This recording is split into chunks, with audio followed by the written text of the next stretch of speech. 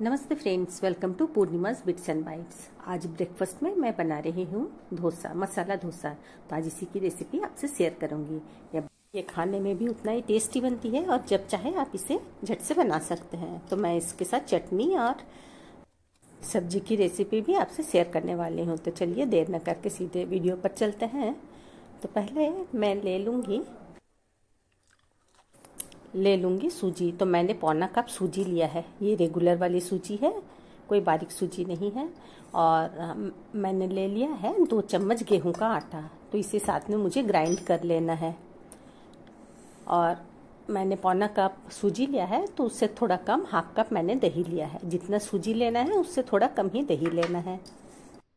तो अब इसे ग्राइंड कर लेते हैं, ताकि ये थोड़ा फाइन पे हो जाए। तो ये देखिए, ये थोड़ा बारीक हो गई है। तो अब इसे मैं एक बाउल में ट्रांसफ़र कर लूँगी। अब ऐड करूँगी नमक और ये दही। तो इसे मैं अच्छे से मिक्स कर लूँगी। तो पहले मैं ऐसे ही मिक्स करूँगी, फिर मैं थोड़ा सा पानी ऐड करूँगी। तो ये मिक्स करने के बाद मैं थोड़ा पानी ऐड कर रही हूँ और फिर से मैं इसे अच्छे से मिक्स करूँगी। जब तक कि गुठली ना रह जाए तो हमें इसे अच्छे से मिक्स कर लेना है। तो मैंने इसमें हाफ़ कप से थोड़ा कम पानी भी ऐड कर लिया है। ये अच्छे से मिक्स कर ले रही हूँ। और सूजी पानी को एब्जर्व करेगी तो इसे मैं ढक के 10 से 15 मिनट के लिए रख दूँगी। और सूजी थोड़ा फूल भी जाएगी तो चलिए इसे रख देते हैं। अब मैंने कढ़ाई में ले लिया है ये बादाम। तो इसे मैं ड्राई ही रोस्ट करूँगी। और मुझे छिलके हटा लेना है। आज मैं ब्रेकफास्ट में थोड़ी जल्दी में हूँ तो पूरे छिलके हटा नहीं पाई हूँ तो उसमें ले लेना है मिर्च, अदरक। अब इसे मैं पीस लूँगी। ये मैंने पीस लिया है। मैं इसमें नारियल भी ऐड करूँगी। तो कढ़ाई में फिर से मैं ले ली हूँ। ये एक साबुत लाल मिर्च और सरसों। तो फोड़न में मैंने ये दे दिया है। अब मैंने ले लिया है कड़ी पत्ता। तो सरसों जब थोड़े चटकने लगे, तब मैं डाल दूँगी ये कड़ी पत्ते के लिए और ये रेड चिली पाउडर तो फ्लेम को बंद कर देना है और इसे थोड़ा ठंडा करने के लिए रख देते हैं।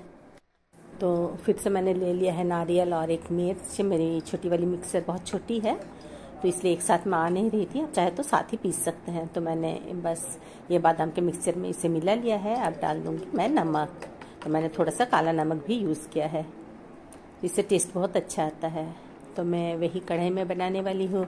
ये सब्ज़ी तो मैंने कड़ी पत्ता के छौंक को इस पर ऐड कर दिया है। तो पहले मैं आलू को बॉईल कर लूँगी। तो आलू को मैंने इसे छोटे छोटे पीसेस में कट कर लेना है और मैं कुकर में फीसल आने तक इसे बॉयल कर लूँगी। तो ये मैंने छोटे छोटे पीसेस में कट कर लिया है आलू को। तो अब कुकर में मैंने थोड़े से पानी ले लिया है। ये आलू को डाल दे के मैं थोड़े से नमक ऐड करूँगी। तो अब एक फीसल आने तक मैं इसे बॉयल कर लूँगी। तो अब उसी कढ़ाई में मैंने ले लिया है थोड़ी सी सरसों का तेल। सरसों के तेल पे अब मैं बादाम को थोड़ा सा फ्राई कर लूँगी।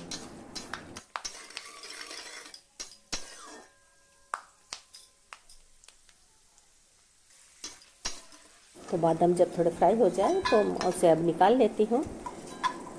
तो बादाम को निकाल लेने के बाद इसी तेल में मैं ऐड करूँगी थोड़े से ये सरसों के फोरन।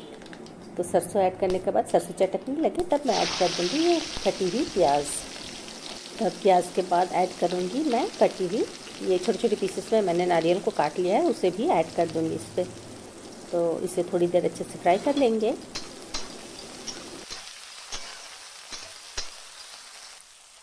अब डालूँगी एक पिंच जितना हल्दी। तो बहुत थोड़ी सी डालनी है तो ये इसके साथ थोड़ा अच्छे से फ्राई हो जाए। तो अब मैं डाल दूँगी इस पर कड़ी पत्ता और मैंने कुछ हरी मिर्च को भी छोटे छोटे टुकड़ों में काट लिया है तो वो भी मैं ऐड कर लूँगी। तो इसे अच्छे से चला लेना है। तो अब मैं इसमें जो पहले से बॉईल किया हुआ आलू है, उसे भी ऐड कर दूँगी।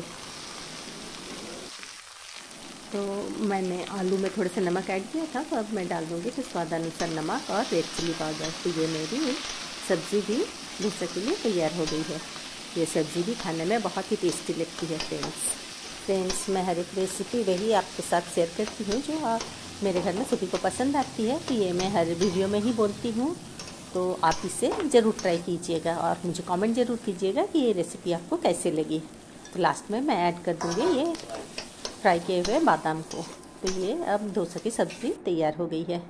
अब मैंने नॉन स्टिक तवे को कढ़ाई पर चढ़ा दिया है और ये मैंने बैटर को देखिए, ये थोड़ी गाढ़ी लग रही है तो मैंने इसमें थोड़ा सा पानी ऐड करूँगी।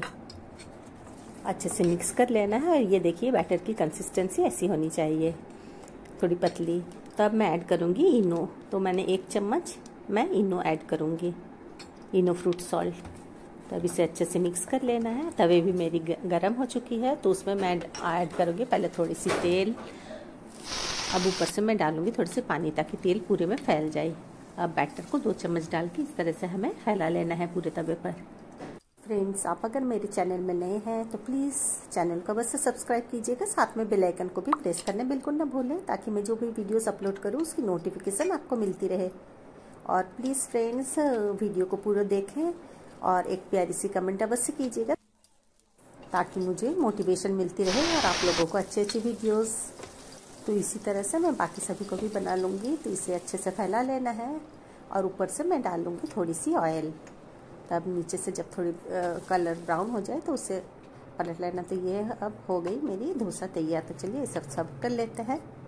तो आप भी इसे ज़रूर ट्राई कीजिएगा फ्रेंड्स वीडियो पसंद आई हो तो लाइक कीजिए, सभी के साथ शेयर भी कीजिए। और अभी तक आपने अगर चैनल को सब्सक्राइब नहीं किया है तो प्लीज़ फ्रेंड, जल्दी जल्दी चैनल को सब्सक्राइब कर लीजिए। फिर मिलते हैं एक नई वीडियो के साथ। Till then, take care, bye bye.